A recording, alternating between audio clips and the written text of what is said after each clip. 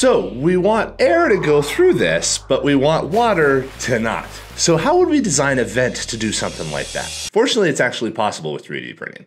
So this comes up actually fairly often. There are a lot of industrial electrical enclosures out there where they need to be washed and cleaned or just put out in the rain, but they still have to have vents in order to allow the fans to cool the internal components and that kind of thing. Which is kind of an odd situation because water and air are both fluids and therefore can both go through basically anything that has any sort of porosity. So how do you design a vent that can actually stop water but still allow airflow to go through reasonably easily. It's not as easy as you might think, and there's a few ways of going around it. A lot of the ways people deal with it is just by having vents that are closed off. Somebody will come up, close down the latch on the vent to the box, and then spray it down, and then they'll open it back up again. There's a few kind of one-way vents, but they're very, very expensive. This is really a situation where 3D printing can really, really shine because 3D printing is able to make really complex geometries, but not have to worry about assembly of them afterwards. You can get something right off the machine ready to go. So what are a couple of ways of doing this? Well, a lot of the nerds out there would immediately go, Tesla valve! Tesla valves are actually a decent way of doing this. A Tesla valve has the ability to allow airflow in one direction and not fluid flow in another direction. Because of how it's designed, water will flow through but then get turned around back on itself and then get shot back out the other side. So it's a reasonable way of stopping viscous fluids like water from going through, but still being able to pull some amount of air through, even though you've radically kind of increased the amount of drag on there if you're pulling air very quickly, because it still creates a ton of turbulence for that. And the Tesla valve is actually something that was kind of intended to be used as a version of a jet engine, like pulse jet engines will use Tesla valves in order to prevent explosions from propagating up. So it's a way of doing this. It's not necessarily a good way of doing that, but we did design one. The other issue with it though also is that Tesla valves are kind of a bulky version of this because they need so much rotational space in order to actually operate. Getting enough slats in this brick is actually sort of tough. So even though you could breathe through this sucker and there is a Tesla valve in there all the way, it's still not necessarily perfectly ideal because it's just taking up too much space, it's too thick, it's you don't have as many layers of Tesla valves in there as you might actually want. So it's not necessarily the best, but it is viable and it's a great demonstration of creating a really complex geometry inside of a brick that could be mass produced in a giant print farm like ours. But an even better way of doing this is really very simple. Just imagine that the water is bullets. And if you want bullets to not go through something, you just need something vertically in their way. But air is able to move around and bounce up and down and that kind of thing in a way that water really isn't, because water has to fight gravity because it's so heavy. So what you can do is basically create slats, where you have one slat right here, one slat overlapping back here, and then another slat up in front. And then you end up with something like this. This is very lightweight and actually has multiple layers of slats inside of there. You can't see through it, but air can flow around the various slats inside of here. So we have multiple layers this direction, each one of them offset from each other.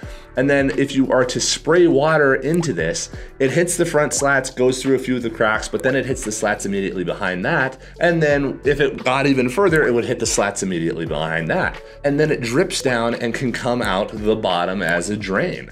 So this is a really good way of preventing it because it's actually dang near foolproof. It's very possible that with super, super high pressures and really long times, you could force enough water through here because maybe it just can't drain out quickly enough. But if it's just being sprayed or rain is just falling or whatever it happens to be, you can do it. Now, since a lot of these vents have drains, orientation can be a concern with them because you might have a drain in the bottom and if somebody turns it upside down, well, people would start spraying into here and then it would drain in here and then it'd pool up and then it'd run out the backside. The easy way of fixing this is just to put a drain in all directions. However, if you put a drain in all directions, now you have water running in from the top, which means that it just bypassed the main vents. So it is best if the drain is only on the bottom because it prevents rain from collecting in the top and potentially getting past all the slats. This is a unidirectional type of event. Now, angles can come in from all sorts of ways here, but you don't want to have a shortcut in the top that's meant for drainage but is actually used as an ingress point if that's not what's intended. Now again, this type of part could be manufactured with other methodologies. Basically, you would cut out those five layers and then you would sandwich them together. But the problem with that is that you're now doing five different parts that all have to be designed, machined, and then reassembled. You have a ton of human time. Or you can just use printing, which can create a really complex geometry like this, and it would be less than the cost of the molds, and certainly less than the cost of assembly of that type of a complex system. This thing can cost a couple dollars pretty easily, or even less if you're going into large volumes above 10,000. But this isn't it. Now you actually have to optimize it because a yellow brick isn't that attractive. This looks like something that's industrial. This is a version of the vent that is actually meant to screw into a round inlet hole, and it has the exact same setup slats. Now, the challenge with this, though, that a lot of people miss is how to actually print it reliably. Many of these are designed to be printed either vertically or on edge like this, and that's fine, except for the fact that now you have these large bridges right here. The way to make sure that those large bridges don't require support or something silly like that is to insert sort of ribs inside of it. If you have ribs along there to where it's not bridging more than like an inch or maybe two in a big old stretch, then you don't have to worry about it and this can print supportless. Now, a lot of people will make the mistake of designing it like this, orienting it like this, and then having the slats print this direction. And that's doable, and technically this isn't under a lot of stress, so it's not an issue, but you want those to be reliable, and you want to be able to press down on them and not have them break. If I press down on these, I could potentially snap them. And if the layer lines are going this direction, those slats will snap. So we put in interior ribs, which help support them a little bit and give a little bit more structure. And since they're in the plane of the actual leak right here, water flows in and then flows down here. The ribs are running this direction so they don't impede anything. And they're really thin so they don't cause any issues. But we'd rather have it print upside down. Now this hurts scale a little bit because you no longer get to do auto ejection. But again, this depends on your ultimate application. If you want the most durability, this is the way to do it. We then orient the layer lines so that each pass is going lengthwise along these. So that even though these slats are levitated above each other, all of the lines go in the path of the slats. So you basically have these very long, continuous plastic parts right here, which won't break off. They're both supported by ribs, and all the layer lines are in plane and running lengthways along there. A few people would design them incorrectly to have like the rastering go sideways across these lines, but that can be a mistake because now you introduced a point of failure. So just orientation is really critical with this. If you want to do mass production, you do want to design this to print vertically just like this. And in order to strengthen up those slats a little bit more, you might put them at a 45 degree angle so that they have more in plane kind of layers. And then you design a support rib on the backside to hold it up so that there's no support needed anywhere else. But if you print it like this, you can actually make the slats thinner. This right now is about an inch thick because we have three to four layers of slats inside of there. And each one of them is about a millimeter and a half thick just because we were overdoing it. But you could take them down to as thin as half a millimeter if you're printing this direction and still have the water stoppage that you need. So if you need something really condensed and thin, that's absolutely doable. But if you're able to, 3D printed parts like to be chunky, so if you can keep them chunky, that's great.